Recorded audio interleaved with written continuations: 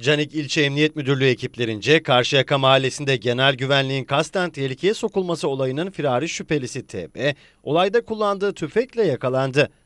Devam eden operasyonda Narkotik Suçlarla Mücadele Şube Müdürlüğü ekiplerince de İlk Adım ilçesi Kıran Mahallesi'nde şüphe üzerine durdurulan RK'nin üzerinde 130,14 gram sentetik uyuşturucu ele geçirildi.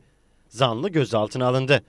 Kaçakçılık ve Organize Suçlarla Mücadele ve Narkotik Suçlarla Mücadele Şube Müdürlüğü ekiplerince Canik ilçesinde gerçekleştirilen operasyon kapsamında 11 bin doldurulmuş makaron ele geçirildi.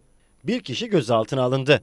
Çarşamba İlçe Emniyet Müdürlüğü ekiplerince ise şüphe üzerine durdurulan araçta iki kişinin üst aramasında 19,27 gram esrar, iki uyuşturucu kullanma aparatı ele geçirildi. İki kişi ise yakalandı. Şüpheliler işlemleri için emniyete götürüldü.